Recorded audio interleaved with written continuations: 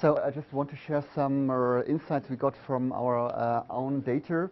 And so I think it was quite complete what you said. So you can decide if you take an antibody graft, if you don't take, if you take an anterior plate or no, no anterior plate.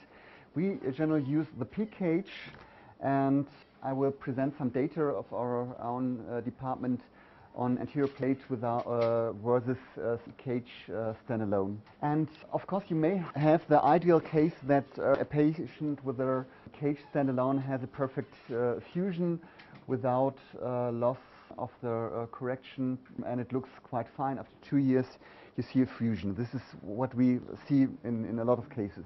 There, in general, if we have some um, spondylosis, we put in the spongiosa material, the bone, and this is PEEK cage, a kind of um, artificial polymer, and it's just visible with this small titanium uh, part so that you can just see uh, where it is exactly No, placed. what- what is- We only put uh, in the, the uh, ventral osteophytes. So, and this is, it's a quite straightforward procedure, you know it, uh, and it's, uh, it's a short operative time and everybody's fine. But it's funny, uh, when we changed about uh, 10, 12 years ago from anterior plate to sta- uh, cage standalone, we were quite happy, but our nurses said uh, it's worse. Yeah, they said the patients complain, yeah, about uh, neck pain and stuff, and we said no, it's everybody does it, it's good. Yeah, but um, they were right. And this is a patient uh, where what we see also that patients had a, a quite normal uh, postoperative course in the beginning.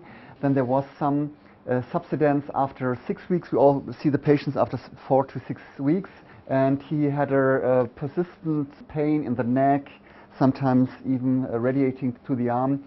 And on MRI and um, um, uh, bone uh, scintigraphy, we saw that it was pseudarthrosis. And I think that uh, standalone cage, now we know that post-operative you have a higher range of motion than in the healthy spine.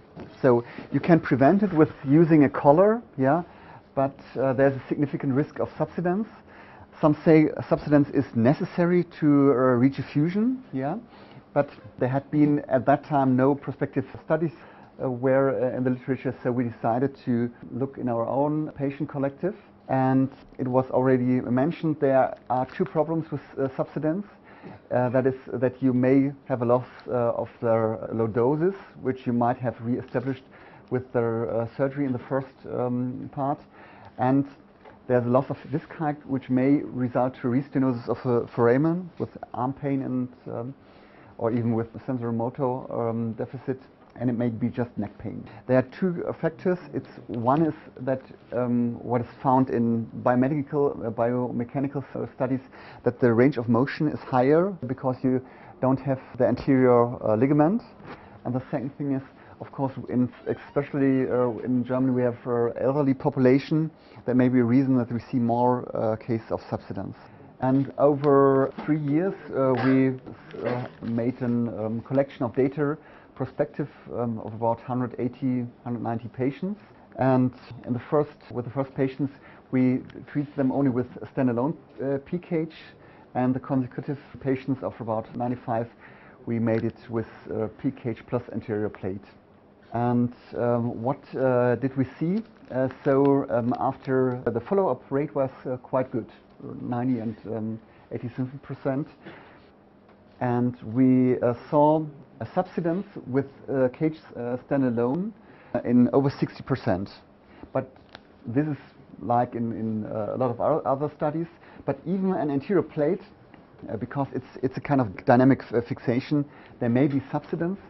The difference was that the subsidence in uh, standalone uh, PEEK cage was much higher uh, than in uh, the anterior plate fixation. That patients really on the uh, neck disability uh, score and all these measurement uh, tools, uh, they complained uh, more about neck pain.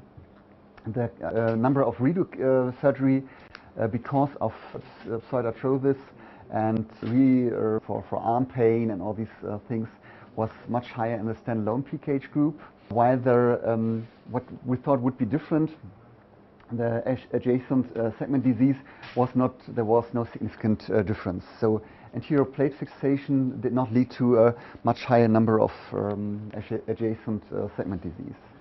And that's uh, what you already mentioned that with the resection of the anterior ligament, you lose the uh, biomedical tension on the ventral surface, and that's what the anterior plate uh, works fine with.